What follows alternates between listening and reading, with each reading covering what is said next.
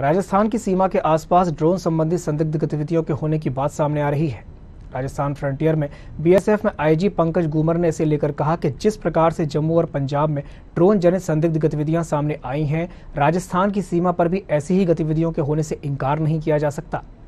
इसे ध्यान में रखते हुए राजस्थान की सीमा के आसपास के गाँव में अलर्ट जारी किया गया है। उन्होंने कहा कि इस संबंध में बीएसएफ को पहले से ही निर्देश जारी किया जा चुका है।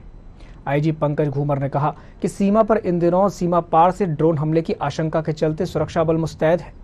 ड्रोन हमले को नाकाम करने के लिए एंटी एयरक्राफ्ट वेपन की तैनाती की जा रही है।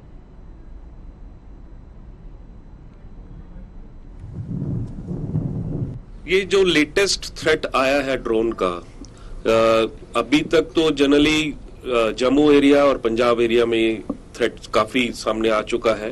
और राजस्थान एरिया में भी हम रूल आउट नहीं कर सकते इसको।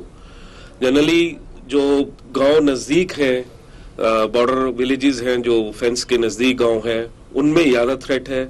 और वो इला, हमारा इलाका जो राजस्थान का पड़ता है गंगानगर का और बीकानेर का उनको हमने अलर्ट किया है। प्लस जो हमने अपने ट्रुप्स को और अपने यूनिट के ऑफिसर्स को बोला है कि जो नियर बाय विलेजेस हैं उनको भी सेंसिटाइज करें इस थ्रेट के बारे में।